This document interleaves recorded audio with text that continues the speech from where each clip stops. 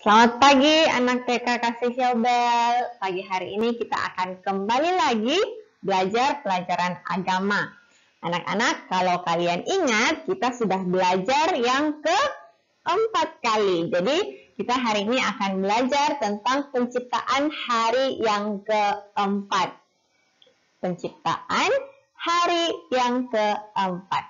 Sebelum kita mulai belajar, kita mau berdoa. Minta Tuhan tolong kita supaya kita bisa fokus belajar dengan baik. Ibu Mei akan pimpin dalam doa, anak-anak mengikuti. Tuhan Yesus, terima kasih untuk pagi hari ini. Kami akan sama-sama belajar pelajaran agama. Kami mohon Tuhan yang tolong kami, berikan kami hikmat, berikan kami kepandaian. Dalam nama Tuhan Yesus kami berdoa. Amin.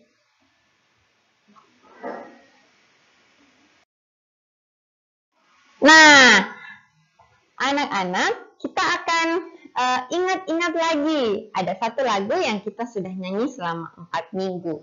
Lagunya judulnya Tuhan menciptakan. Jadi kita mau selalu ingat bahwa dunia ini, alam semesta ini, Tuhanlah yang menciptakan. Tuhan kita yang menciptakan. Nah, anak-anak siap-siap ya, kita mau nyanyi sama-sama.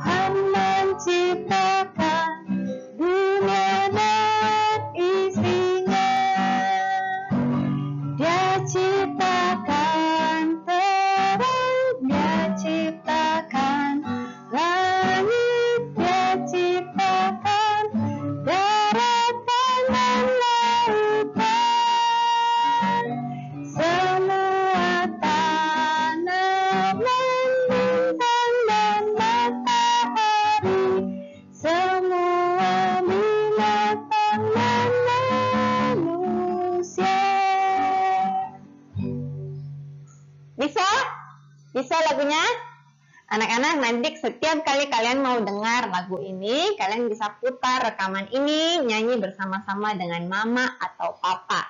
Oke, supaya kita bisa selalu ingat Tuhan yang menciptakan. Lalu apa-apa saja yang Tuhan ciptakan.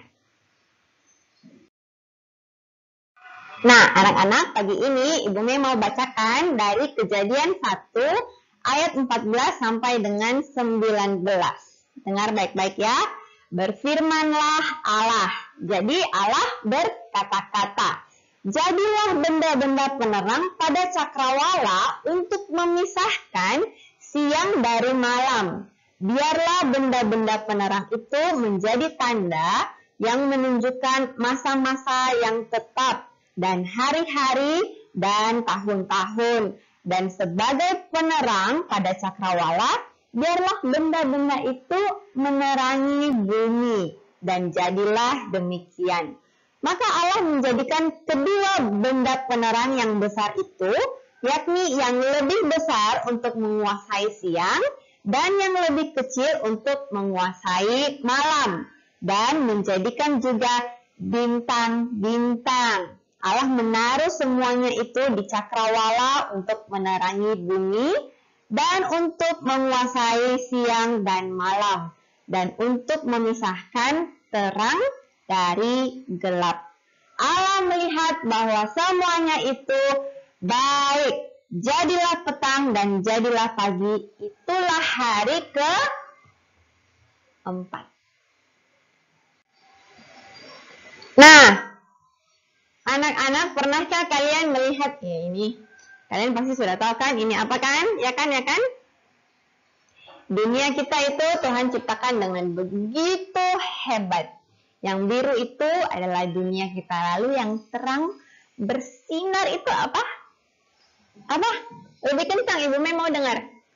Matahari.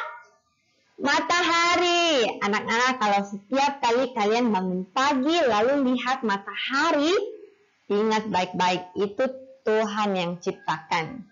Tuhan ciptakan matahari dan matahari itu ada mulai dari pagi, siang, lalu nanti terbenam di sore hari.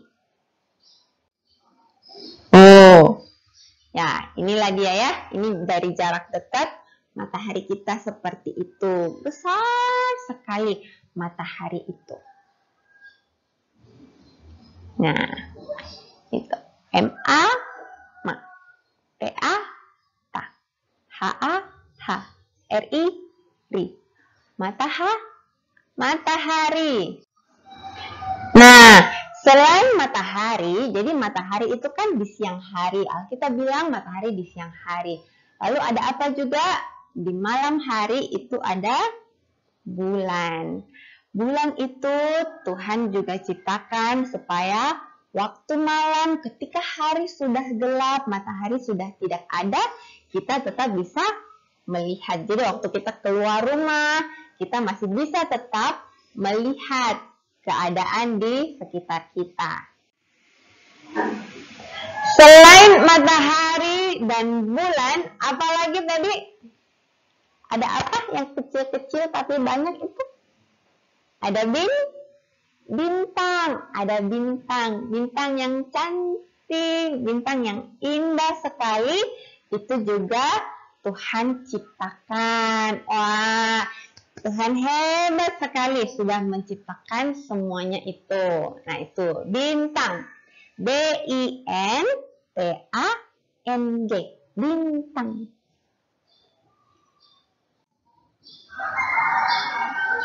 Nah, pertanyaan Ibu Mei adalah, mengapa Tuhan Allah menciptakan matahari, bulan, dan bintang? Ada yang bisa jawab? Kenapa Tuhan Allah menciptakan itu? Apakah supaya kita menyembah benda-benda tersebut? Anak-anak, ada banyak orang yang menyembah. Jadi berdoa-berdoa kepada matahari, kepada bulan, kepada bintang. Tepat, bukan itu tujuan Allah.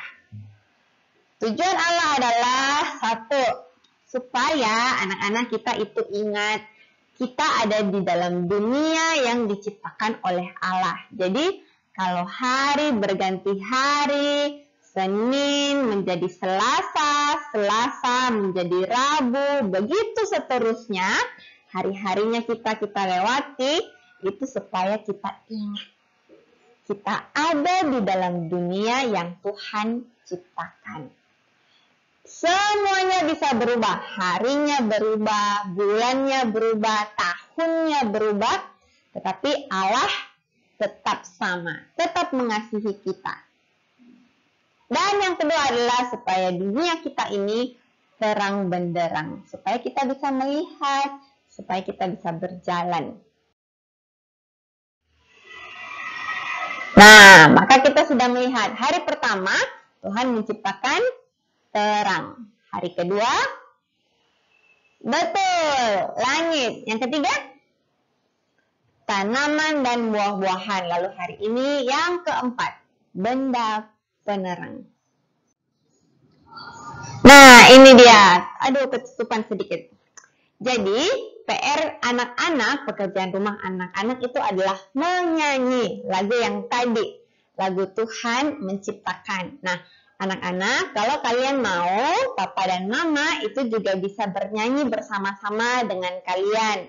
Tapi nanti yang di video anak-anak saja.